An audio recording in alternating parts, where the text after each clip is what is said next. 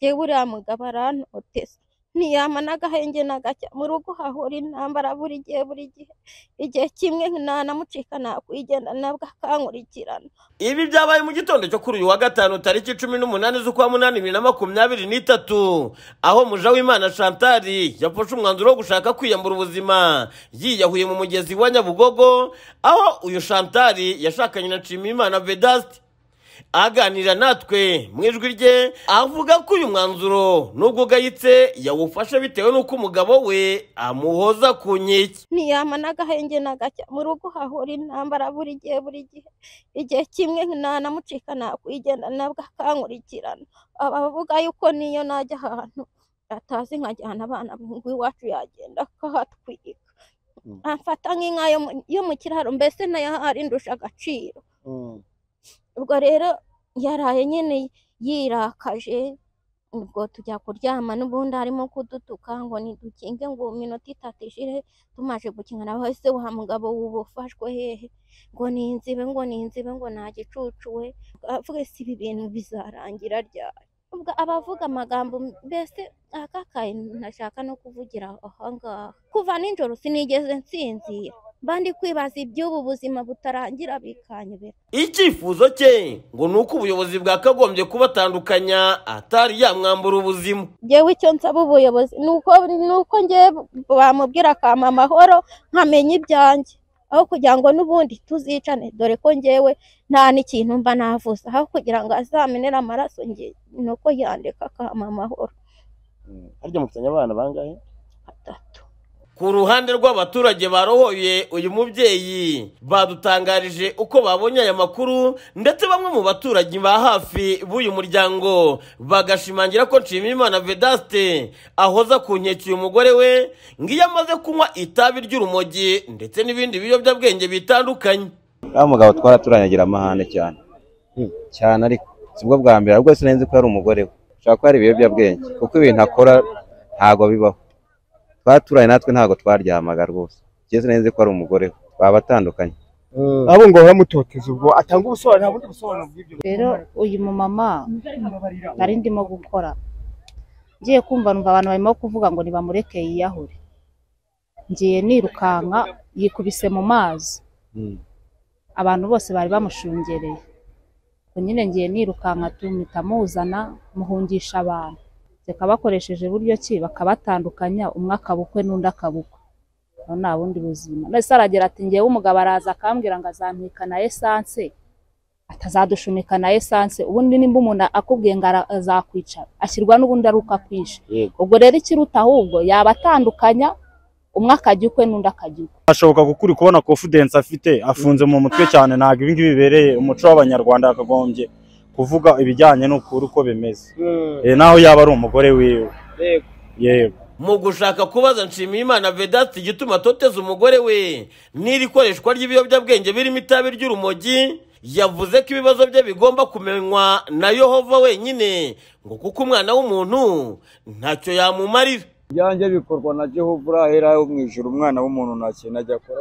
Ibi bibaye mu gihe ubuyobozi bwite bwa leta budahwema gusaba abaturage gutanga amakuru ku ngo zibanye mu makimbirane. Nka kimwe mu byahosha iyicwa ry'abagore n'abagabo. Biturutse ku makimbirane nk'aya ariko inshuro zose twagerageje guhamagara umunyamabanga nshingwabikorwa w'umurenge wa kanyinya madamu wanyirigira clarisse yirinze kwitaba telefone yacu ngendanwa ndetse n'ubutumwa bugufi twamwandikiye. Ntiyabusubiza kugeza ubwo yahise akuraho na telefone ku murongo. Aha haje kwiyambazwa polisi. Iraza yumva ibibazo by'aba bombi ubundi babapakira mu modoka y'umurenge wa kanyinya bajyanwa ubwo. Ngo ubuyobozi bube bwabasha kubagira inama.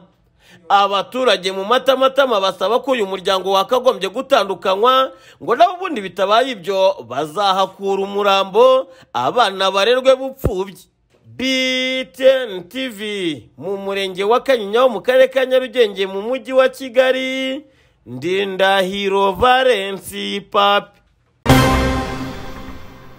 Ni amavomo yubatse muri zimwe mu ngo z'abaturage bahoze mu cyiciro cya mbere cy'ubudehe baherereye mu murenge wa Rugarama. Aya mavomo bavuga ko ngo bayahawe ku buntu ngo abafashe kuba babona amazi meza bakoresha hafi, ariko kuri ubu bakavuga ko ngo baje gutungurwa n'uko baje kwakwa amafaranga yo kwishyura aya mazi ndetse nyuma yo kuyabura ngo bagahita bayafunga. Kuri ubu bakavuga ko izi robine bazitunze nka baringa kuko batabasha kuzivomaho. nitwa Nyirambarushimana Sarafine ntuye mu mudugudu wa Gake bari baziduhaye turi abo mu cyiciro cya mbere ari uburyo bw'abantu batifashije batishoboye. Maze kuziduha twaravomye abaturage bakaza bakadusaba amazi tukabaha. Ntabwo waba ufite umugezi mu rugo ngo umuntu muturanye w'umuvandimwe ngo akwake amazi uyamwime. Ubwo bigeze nyuma amazi tubona baraje ngo nitwishyure. Amazi bahita bayafunga. Haje abantu b'abagabo babiri. Ntabwo nzi amazina yabo kwishyurira ayo mazi. Ibihumbi mirongo itanu na bibiri. N'umukecuru ibihumbi mirongo itanu.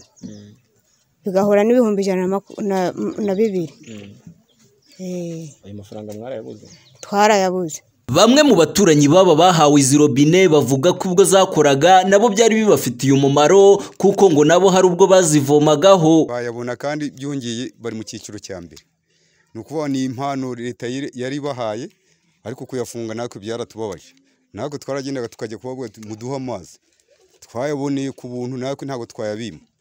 Ariko byaradutangaje kubona bafunga amazi akaba arangije umwaka. Impombo ziri aho ngaho robine ziri aho ngaho. Ingufu z'abaturage zagiyeho bacukura eh, ahantu ha- hazanyura amatiyo ntabwo uri kumva ko twe natwe iyo turebye dusanga harimo ikintu cy'akarengane. Kuko ayo mazi yatangiwe ubuntu agafungwa. Umuntu wo mu cyiciro cya mbere se bana- iyo baza kumwe bati ayo mazi muzajya muyariha. Ariko ntibigeze babibabwira. Byaradutangaje kubona bafunga amazi kandi biranababaje. Ibyifuzo bose bahuriyeho nuko bafashwa aya mazi bakongera kuyafungurirwa bakayakoresha dore ko bagaragaza ko nta n'amafaranga babona yo kuyishyura. Icyifuzo cyacu kereka bongeye bakaduha ayo mazi nk'uko bari bayatugeneye Mm, ni cyo cyifuzo dufite dushaka ayo mazi akongera akatugarukira. Ngewe icyo nifuza nifuza ko abo bantu bafungurirwa amazi leta yari yabahisemo hanyuma bakongera bakavoma.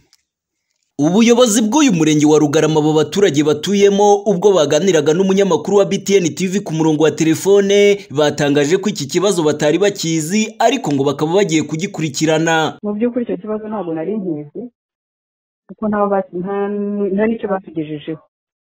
Ahubwo ubwo ndakurikirana menye ibyo ari byo. Kugira ngo bihabwe umurongo. Ntabwo umuturage ntabwo umuturage yahabwa igikorwa yakwegereza igikorwa remezo gigiye gukora. Nibarangiza bamwishyuza ubundi aho ibyo nta n'aho byabaye. Ahubwo turakurikirana tumenye ngo ni bande bahawe robine bazihawe ryari? Amafaranga bishyuzwa. Bayishyuzwa nande?